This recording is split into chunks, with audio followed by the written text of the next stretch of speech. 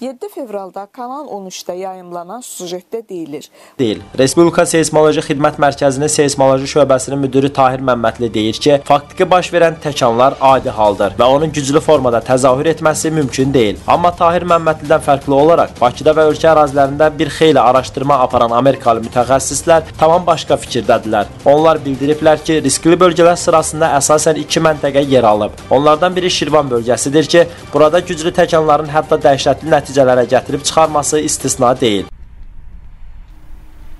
Bu gün 10 fevraldır. Artıq Amerikalı alimlərin proqnozu özünü doğruldub.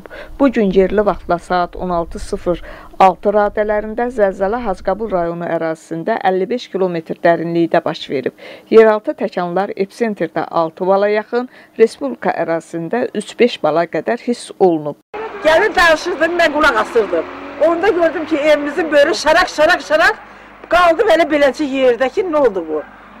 Gəlinə dedim ki, dur qaça qırağa.